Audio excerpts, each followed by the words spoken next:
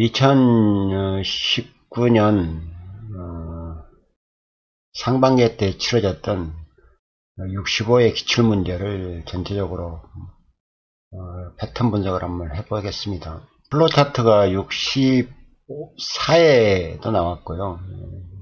예, 그 동일한 음, 패턴으로 좀 65회차까지 음, 두 번째 나오고 있는데 그 전에도 이 플로우 차트가 일부 간간히 간헐적으로 출제되긴 했었어요. 그런데 항상 이 플로우 차트에는 나오게 되면 그 해석상의 시험, 수험자들의 항의가 많았던 시험 출제 패턴이었습니다. 근데 이런 그 플로우 차트는 그 IT 하는 쪽에서도 과거 한 10여 년 전에는 썼거든요. 그 그런, 왜냐하면 그때만 해도 이제 코딩이 어떤 sequential한 프로그램 코딩 방법이었기 때문에 가능했는데 지금은 그 모든 graphic user interface가 event drive 방식이기 때문에 이런 시원한 그 플로차트의 표현 방법으로는 어, 업무나 이런 어떤 기능들을 표현할 수가 없습니다. 그런데 이제 우리 PLC는 그런 아직 그 PLC의 흐름이나 PLC의 동작 순서가 어, 순서적으로 흘러가는 거고 순서적으로 제어를 해야 되는 부분이기 때문에 플로우 차트로 표현은 가능하거든요. 네. 이 화살표 방향이나 화살표의 순서 그 다음에 on off 되는 그 표시 이런 것이 명확하지 않으면 그 다음에 가능하면 거기 옆에 그 지문을 좀 같이 혼용을 했으면 좋은데 어, 이런 부분이 좀 부족해 가지고 음, 어, 그 해석상의 문제를 이야기를 했었고요. 그래서 어, 제가 이제 이번 기회에 이걸 보면서 65회까지는 내가 기출문제를 한번 풀어보려고 한 이유는 어, 아직은 그 플로우 차트 문제가 시험에서 0 퇴출됐다 이렇게 말하기는 곤란한 것 같아서요. 언젠가는 이게 이 플로우 차트가 다시 시험에 등장할 수가 있기 때문에 어, 이 플로우 차트까지는 이제 기출 문제 좀 다뤄보고요. 다음 음, 그 시즌에서는 그 PLC의 가장 기본적인 베이직부터 좀 이야기를 하려고 합니다.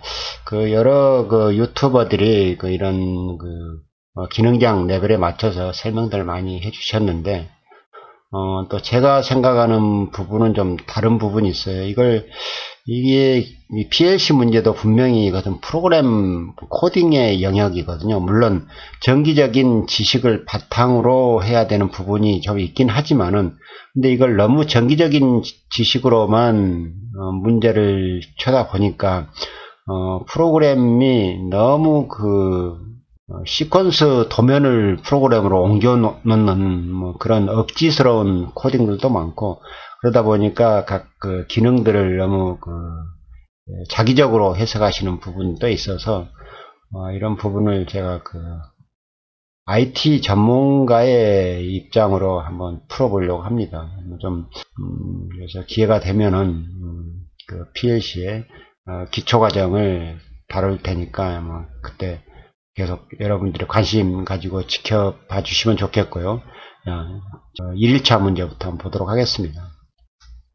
전체를 1일차의 문제를 보면 일단 기본적으로 select 스위치가 여기 또 그 어떤 것이 ON이 되느냐 나머지는 off 된다는 조건으로 이게 전제 조건이 되고요. 그걸 select 스위치의 이제 상태에 따라서 어, 그 프로세스가 이게 분기가 되죠. 어, 되는데 여기 이제 select A가 ON이 됐을 때 해야 될 쪽 그 입력 제어 부분이고요. 이제 스위치 B가 됐을 때 C가 ON이 됐을 때 네. 실질적인 코딩에서는 어떻게 할 건지는 실제 코딩 예를 가지고 하겠고요. 간단히 설명을 드리면 여기는 그 push 버튼 A, B, C 각기 다른 것이 카운트 값이 해당되는 카운트가 있고요. 거기에 그 해당되는 램프를 점멸을 한대요. 그러면 여기에서 좀 중요한 게 하나 있는데 이게 지금 다른 행위가 끝날 때 다른 행위가 끝날 때 또 이런 그 카운터 값을 받아야 되는 건지 아니면은 그 카운터 값이 병렬로 같이 진행될 수 있는 건지에 대한 해석 문제거든요. 이런 부분이 바로 그 해석을 애매하게 하는데 일단 플로우 차트는 그 화살표의 흐름을 먼저 중요시 합니다. 그러니까 이 push 버튼 A가 1회가 됐을 때 어, 램프 A가 1초 간격으로 1회 점멸이 끝난 다음에 끝난 다음에 또 이 push 버튼에 입력 신호를 받아야 되는 거예요. 그러니까 이런 행위가 진행될 때는 이런 부분이 행위가 입력을 들어도 안 되고 카운트가 진행돼도 안 되는 거예요. 이런 것은 상호 locking을 좀 걸어주는 부분이 좀 신경을 써야 되고요. 아마 분명한 것은 이, 여기는 이 부분이 함정입니다. 나머지는 굉장히 어, 평이한 문제죠. 보세요. 어, select 스위치 B가 ON이 됐을 때 push 버튼 B를 2회를 상승 edge로 counting을 해요. 그러고 나면은 뭐 정해진 시간 동안 이 행위를 하고 다시 계속 이 반, 반복을 하면 되죠. 이 행위를. 이건 이 보니까 1초, 2초, 3초 어, 여기도 1초가 있으니까 4초의 사이클을 가진 행위를 반복을 하다가 언제 그러면 행위가 끝납니까? 이 화살표로 보면 이 행위를 끝내주는 시간은 없어요. select 스위치가 바뀌면은 바뀌면입니다. 여기에 카운터 값이 바뀌면 뭐 이거 이렇게 해석하시는 분도 있는데 제가 보기에는 여기 select 스위치의 위치가 바뀌면은 리셋이 되는 거고 나머지는 계속 반복하고 그 다음에 다시 select 스위치가 B가 됐을 때 다시 counting이 가능한 거죠. 그래서 이 화살표가 어디로 가느냐. 자, 화살표가 이 어떤 카운터 값의 위로 가면은 한 번 행위를 하고 리셋이 되고 어, 그 행위를 카운트를 다시 하는 거고 이 화살표가 바로 이 그 사이클을 주기로 가지고 있는 이 행위의 바로 이쪽으로 온 경우는 무한히 반복한다는 겁니다.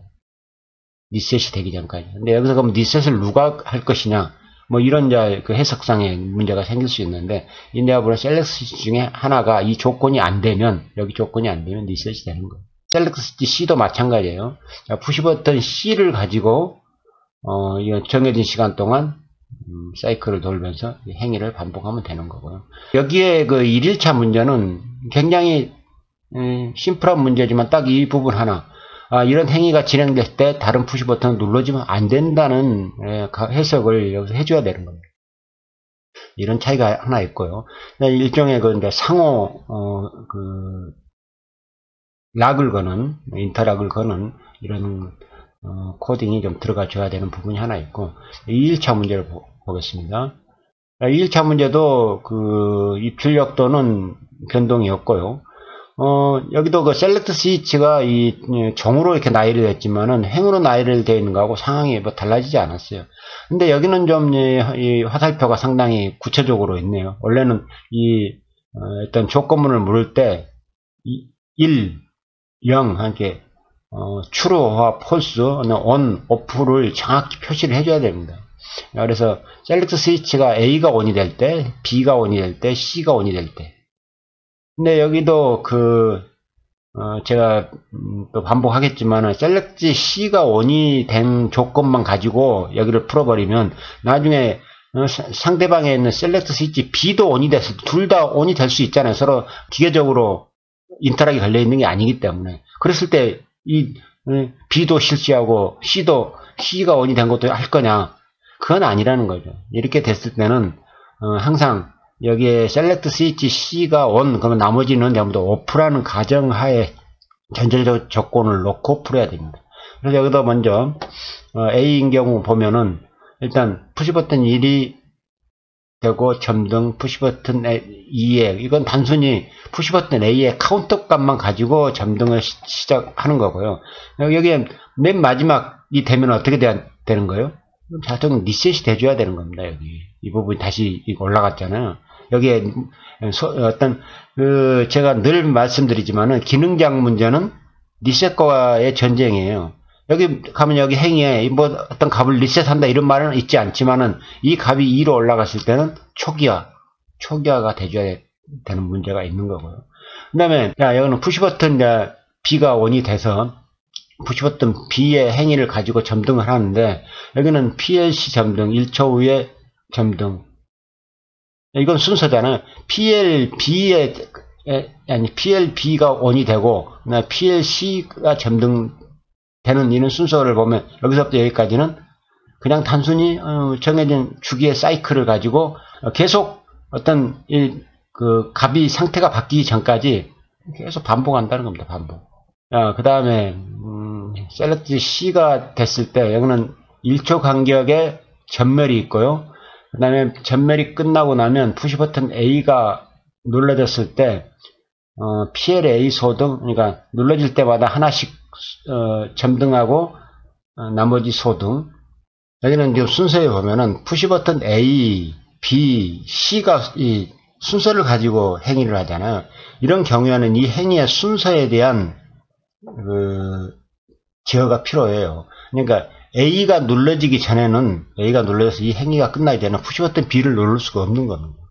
푸시 버튼 B가 같은 됐다는 전제하에 이 행위가 이루어졌다는 PBB가 이루어지는 거고요. PBB 행위가 끝나고 나서 PBC 행위가 이루어질 수 있도록 이게 계속 그 앞에 전제 조건을 달아가면서 이 행위가 이루어지도록 그래서 이게 전체 3초가 지나면 다시 리셋이 되고 음, 다시 어, 같은 행위를 반복할 수 있도록 어, 이런 부분이 어, 2일차에 지금 나왔고요. 2일차에 보면은 딱 모든 게 상승 엣지로 시작됐는데 여기에 이제 하강 엣지를 이런 식으로 하나 숨겨놓은 함정을 하나 파는 거죠.